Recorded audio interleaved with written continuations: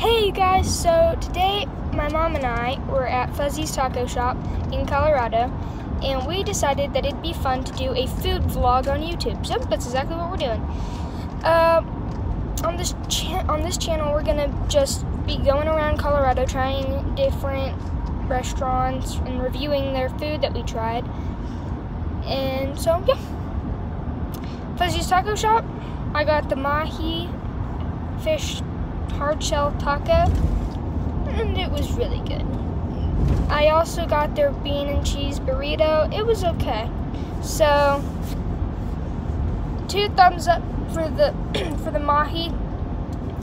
Kind of a crooked, eh, eh, for the for the bean and cheese burrito.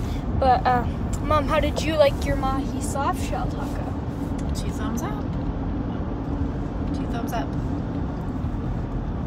See? The bean and There's- cheese burrito is a typical bean and cheese burrito that you can get anywhere. Yeah, go go to like if you want a bean and cheese burrito. Honestly, make it yourself. Don't go to Fuzzy's, because all they do is take refried beans, shove it in a in a bur- shove it into on a tortilla, and sprinkle some cheese on it. It, it wasn't very good. But you had the butt sauce. Oh yeah, they had this sauce called the well, the butt burning butt burning hot sauce. That was really good. It was really good. I put it on my bean burrito. It burnt my taste buds, and it and it kind of made the bean and cheese burrito taste okay.